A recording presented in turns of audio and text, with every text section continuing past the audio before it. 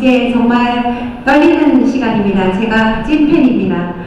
우리 박경훈 가수님을 소개할 텐데요.